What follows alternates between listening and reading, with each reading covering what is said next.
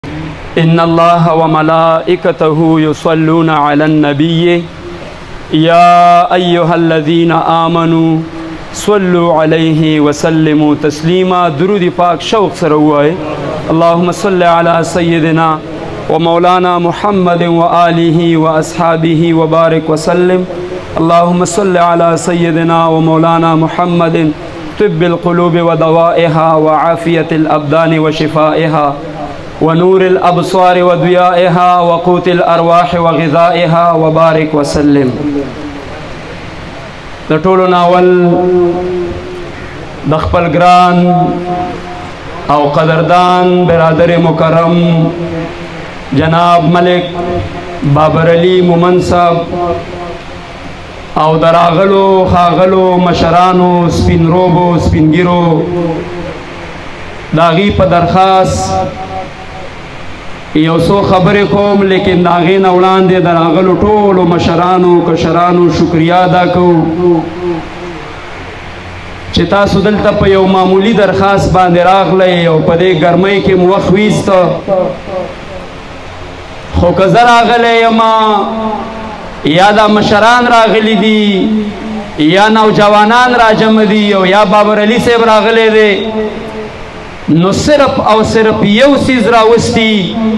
او چې دلته د عوامي عدالت لګېدلې دی هغه سیز څه شی دی هغه د غریب ولس درد په زړه کې لرل صرف او صرف دقه د غریب اولس درد دلته ودرولې یو که عدالت ته ځو که جج ته ودرېږو که د وکیل سره مخامخ کېږو او که د یو مخالف فریق سره کینو خبرو ته وجه به صرف او صرف د غریب اولس هغه درد وي خبره چونکې ښکاره ده خو یاد ساتئ قوم چې جوړیږي نو قومونه په اتفاق باندې جوړیږي قوم بغیر د اتفاقه هیڅ نشي کولی اگر چې د نوم د ډیلی په دروازه باندې ولی نه لیکل شوی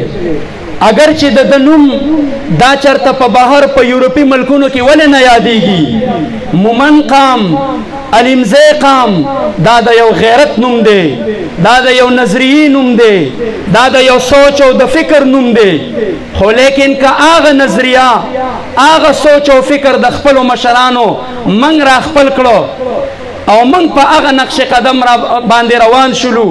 نو دا خو یو سړی به موږ ته راپاسي زما عزت ته به لاس اچوي والله زما سپینګیري ګریوان ته به لاس اچوي کله د ګریوان نه رانیسه او په ګاډو کې راکاږه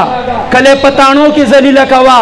کله په عدالت کې بېزتي ورکوه کله واپس وباسه کله بیا راغواړه په هر ځای باندې شرموه دا ولې دې اخیار ته دومره مقام ملاو شوه داغي وجه دا ده زمونږ د قوم نه اتفاق وته دی کومنګ په اتفاق باندې وو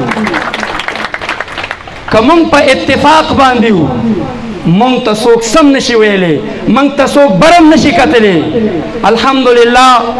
زه د بابر صاحب توجه دې خبره ترړو ما مونږ په 13 تاریخ باندې 13 تاریخ غالبا 20 تاریخ جوړېده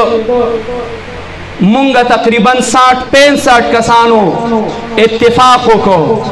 او راجم شو چې دا څنګه حالات په دې علاقو په دې وطن باندې راغلو زما بی عزتی کیږي زمانوم په عدالت کې چلیږي وای دی قابض دی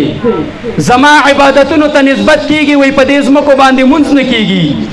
زما مشر د ګریوان نه رانیول کیږي وای په پردۍ ځمکه باندې د کور جوړ کړی دی هفته کې به کور خالی کې را روان تاریخ له به یا روغه وکړي دا خونزاده سه یا به کور خالی کې یا به پیسې د ځمکې ورکړي هغه غریب یو یو رانیسه او دا په عدالت کې ذلیله کوه زمونږ د دې کلو نه د دې وطن د دې علاقې د خلکو نه چې د چا نه روپۍ اخیستلی شوي دي وجه دا ده یو یو یې رانیولی یو یو او دوه دوه کړي یو د سیل نه رانه جدا کړي دي زما رور دی که مشر دی د مشرانې نظر ورته لرم که کشر دی د شفقت لاس ور باندې اکدم کامزولی مې دی د رورۍ لاس ورله ورکوم هغه ولې دی غریب تاوان سره مخامخ شو دا یې رانه د سیل نه جدا کړی دی کله چې موږ سیل یو ځای شو او د دې ځینم اتفاق وکړو او ګاډیم خپل راونیول او لاړو لتانې ته د تانې نه لاړو عدالت ته او جج ته مخامخ شو نو جج زمونږ د خبرې د اورېدلو نه مخکې وای تاسو پنځه څلوېښت کاله وشو وای په پردۍ ځمکه قابض یې ما ورته وی آفرین شه او پتا باندې شه زه مجرم یم منم زه مجرم یم زه ظالم یم زه قابض یم پردی ځمکه مې لاندې کړې خو اصول د فیصلې دا نه دي زما خبرم ووره د مخالف خبرم ووره زما نم ثبوت وغواړه د دنم ثبوت وغواړه زه به ثبوت را نوړم زه به شرمنده شم زه به مجرم ثابت شم جرم به زما په وګو باندې راشي بعد د هغې نه ته جج بعد دا غینه تقاضی په ما باندې بیا چې کوم دې حد او سزا جاری کا کما جیل ته لګي کپا ما جرمانه راولي کما د کور نه پاسه بعد دا غینه مال سزا راکا افرین شو ستا په فیصله شماوي بیا رو په عدالت کې بدمعشان ناشتي دي کمنګ را یو ځای شو دا به څومره لوی بدمعشوي دا به څومره طاقت وي تاسو نه تپوس کوم دا نوجوانان گواهان دي محمد یار مې دلته چرته په نظر راغې دا سړی یو دوه نوجوانان زموږ نورو او یو دوه سپینګیري یو روپجي صاحب او یو عبدالله اکبر ماما دوی ته یو سړی د جج یو اردلی را پاسي او دې ګریوان ته دا دا چل کوي وای ما پیژنې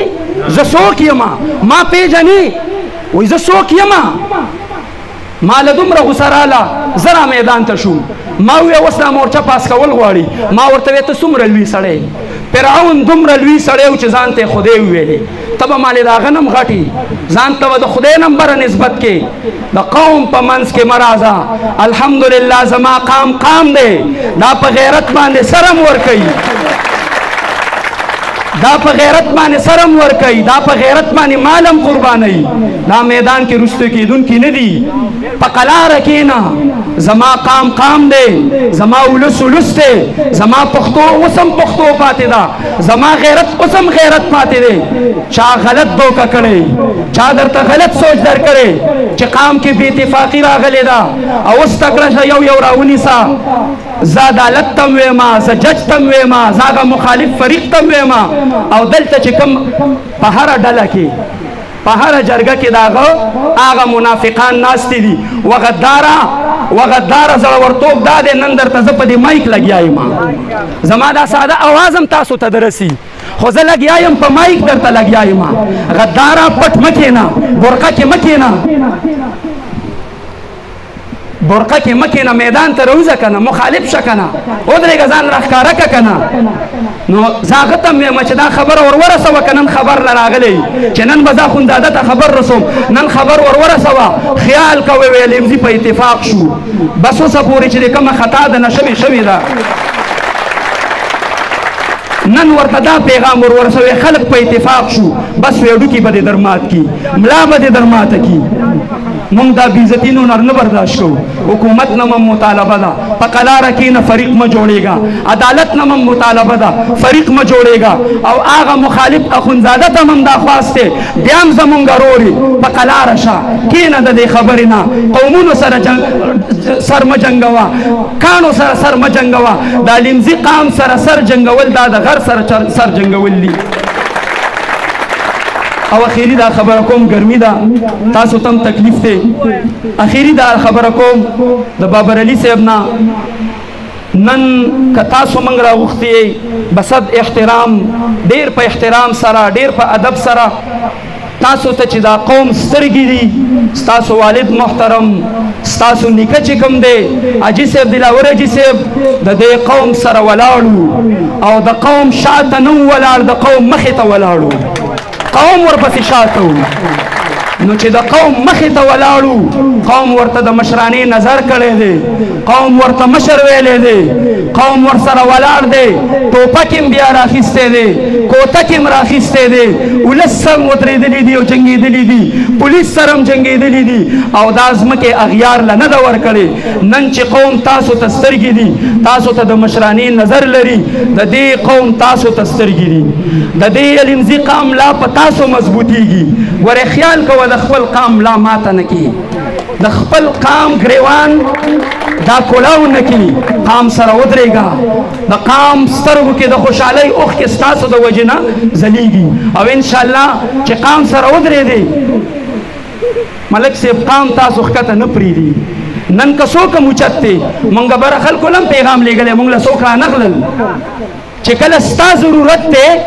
نو ته قام له راځې بیا قام دی نن چې قام د مشکلاتو سره مخ دی نو بیا قام ته د قام نظر نه کوي مونږه سیاسي نمائندګانو تم درخواست کړي یو هم د قام تپوس نه کوي خیال کوي د اق لیډر سره ودرېږي چې نن تاسو سره دلته په دې ګرمۍ کې ناست دي بس د خبرو خلاصه او غرض مې دا دی چې په هر چا باندې ګران دی د هر چا د زړه درمان دی ډېرو زړونو کې اوسېږي ډېرو زړونو کې مهمان دی ښایستونه په ګلونو راځي دا یو بل د ګلستان دی د داسې ګلونو سره ودرېږئ د ده ملا تاسو مضبوطه کوئ انشاءالله دی به زموږ ملا مضبوطوي او دا هم امیدونه دي هذا